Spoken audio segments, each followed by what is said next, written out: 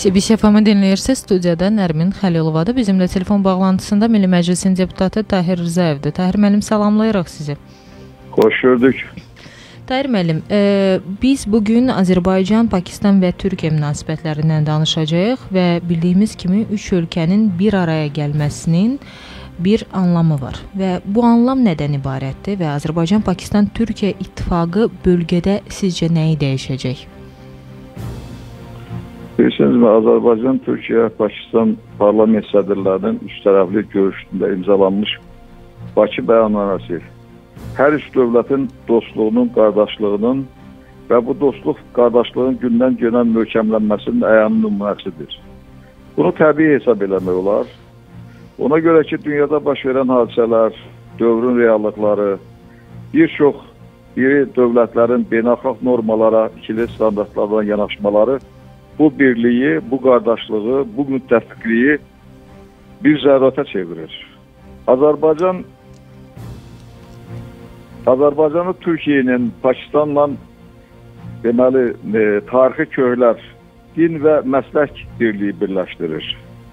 İmzalanmış Bakı bəyannaməsi də, eləcə də qarşılıqlı ticarət, mədəniyyət, müdafiə sahəsində mövcud olan sənədlər və qəbul edilən bir çox sənədlər bu birliyi, əmək, əməkdaşlığı demək olar ki, əb əbədiləşdirir, əbədiləşdirir. Bir e, tarixə çevirir. Dünyada bilirsiniz ki, e, öz iqtisadi və hərbi gücünə görə Türkiyə, eləcə də Pakistan sayılan seçilən dövlətlərdəndir. Bəli. Ona görə də bu müttəfiqliyin, bu əlaqələrin möhkəmləndirilməsi nəinki üç dövlət üçün Cənubi Qafqazda eləcə də regionda, yaxın şərqdə stabilliyin bərpa olunmasıdır, inkişafın təmin edilməsidir və demək olar ki, bu gün çox vacib bir məsələdir. Biz bunu 44 günlük müharibədə də bir daha gördük və yaxşı bilirsiniz ki, bizim dostlarımız, dost dövlətlər Bəli. Azərbaycana öz mənəvi dəstəklərini əsirgəmədilər. Bəli. Əlbəttə ki, Türkiyə və Azərbaycan bu dövlətlər arasında birinci idilər. Onlar müharibənin ilk günündən sonuna kimi Azərbaycanın yanında olduqlarını bəyan elədilər. Azərbaycana hər cür dəstək ver, ver, vermək verməyə hazır olduqlarını bildirdilər.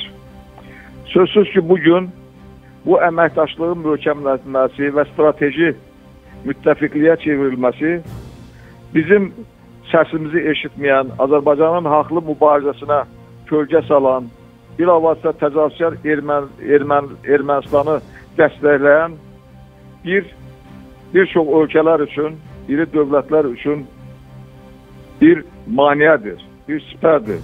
Çünki onlar müharibə dövründə nəinki Azərbaycanın bu haqlı mübarizəsinə dəstək verdilər, beynəlxalq normalara uyğun olaraq Azərbaycanı dəstəklədilər. Əksinə bir çox dövlətlər, bəzi dövlətlər başda Fransa olmaqla e, Ermənistanı müdafiə etməyə başladılar və bu gün də bu müdafiə durur.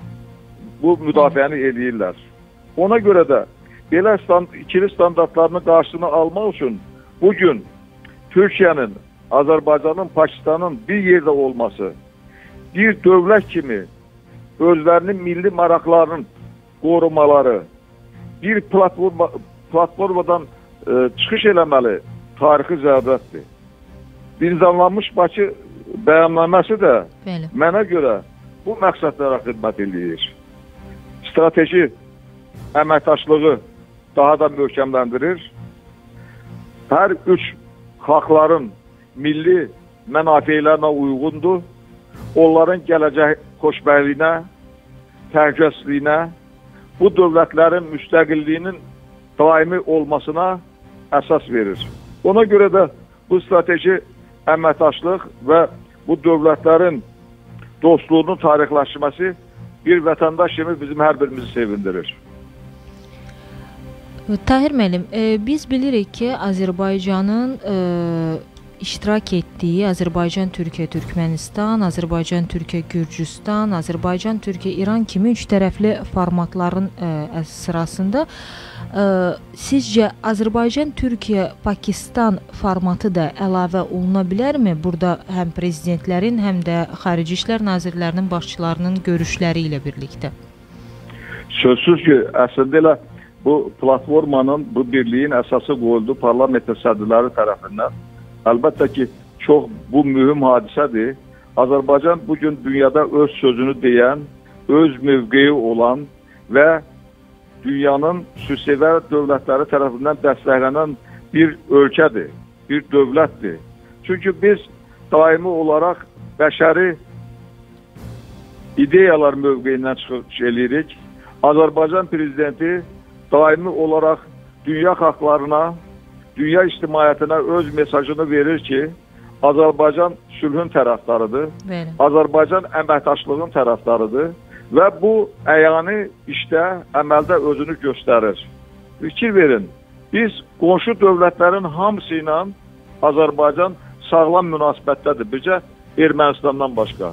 Azərbaycanın Rusiya ilə münasibətləri yaxşıdır. Gürcüstanla Türkiyə ilə münasibətləri, İranla münasibətləri sağlamdır.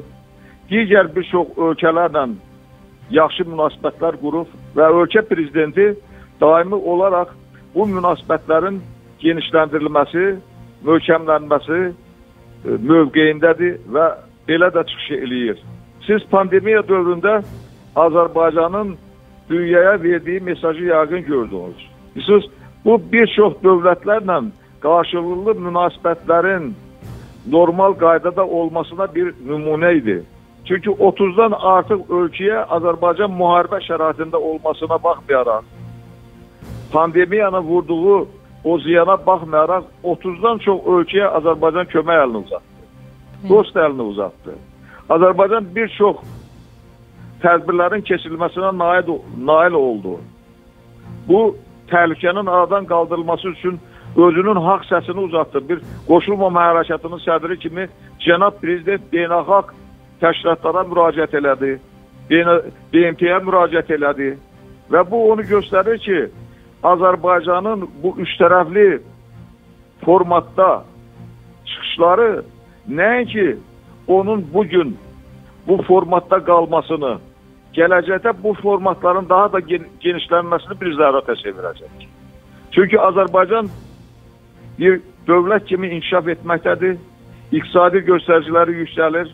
Bu yaxınlarda cənab prezident öz çıxışında Azərbaycan televiziyasına verdiyi müsahibəsində Bəli. də bunu göstərdi ki, ilin çətinliyindən baxmayaraq 2020-ci ilin çətinliklərinə baxmayaraq pandemiyanın, müharibənin vurduğu çətinliklərə baxmayaraq bu ilin 6 ay ərzində Azərbaycan iqtisadiyyatı 2%, qeyri-neft sektoru 5%, aqrar sektor 6-17 faiz inkişaf eləyib, irəli gedib. Digər sahələrdə də yaxşı nəticələr var və cənab prezident çox nikbinliklə bildirdi ki, Azərbaycan xalqı birdir. Biz dünyada sülhün, əmnamanlığın tərəfdarıyıq və bu istiqamətdə işlərimizi görürük və bu mövqe bizi dünyada tanıtmaqla bərabər bizim iqtisadiyyatımızın inkişafına güclü təkan verir. Əlbəttə siz indi deyirsiniz, Azərbaycan, Türkiyə, Pakistan üç tərəfli əməkdaşlığı sözsüz ki, bizim İranla da, Rusiya ilə də, digər dövlətlərlə də, Gürcüstanla da belə əməkdaşlığımız var. Sözsüz ki, bu əməkdaşlıq gələcəkdə daha sürətlə inkişaf edəcək və bu Azərbaycan xalqının xeyrinədir. Azərbaycanın beynəlxalq aləmdə tanınmasının xeyrinədir və əlbəttə ki, bir dövlət kimi Azərbaycanın öz müstəqilliyini möhkəmləndirilməsinə böyük imkan şərait yaradır. Tahir müəllim, e, dünya hüquq problemini yaşadığı bir zamanda ikili siyasətin sona çatdığını düşünmək əlbəttə ki, mümkünsüzdür. Və sizcə bu formatın, bu üçtərəfli formatın yaradılması və möhkəmləndirilməsi ilə həqiqətlərimizin təbliğinə necə töhfə verəcək? Hansı töhfələr Artıq verəcək? Azərbaycan informasiya o e, çətinliyindən çıxıb Bunu 44 günlük müharibə də göstərdi. Bəli. Dost ölkələrin bizə dəstəyi də göstərdi bunu ki, artıq o blokada yarılıb, yarılıb Azərbaycan artıq indi dünya çıxmaqdadır və öz informasiya şəbəkəsi ilə demək olar ki, Azərbaycan həqiqətləri dünyaya yaymaqdadır. Heç bir fakt yox, ancaq cənab prezidentin o 44 gün müharibə dövründə bir çox yerli və xarici informasiya şəbəkələrinə verdiyi o müsahibələr göstərdi ki, Azərbaycanda bu gün informasiya məlumat şəbəkəsi həddindən artıq genişlənib, insanlar məlumatlıdır. Digər tərəfdən bu reallıqların dünyada dünyaya çatdırılması üçün mövcud imkan var. Və cənab prezident öz çıxışları ilə bu gün də bütün dünya bəyan eləyir ki, biz bütün ölkələrə açıq, açığıq.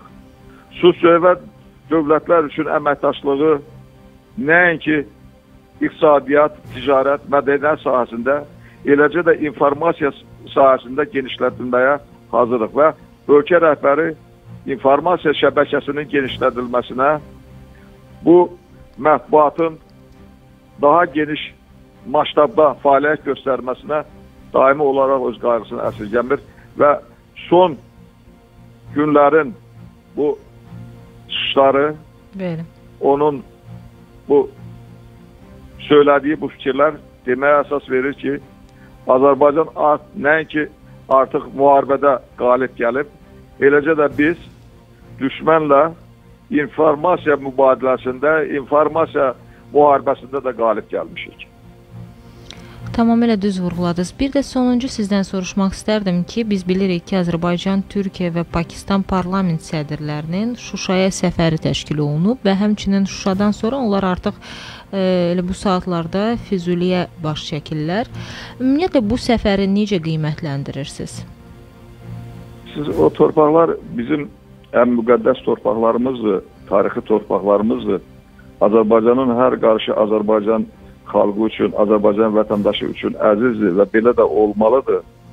Çox təəssüflər olsun ki, bizim mədəniyyət mərkəzimiz, bizim mədəniyyətimizin tacı olan Şuşa 28 ildən çox düşmən təbdağı altında qaldı.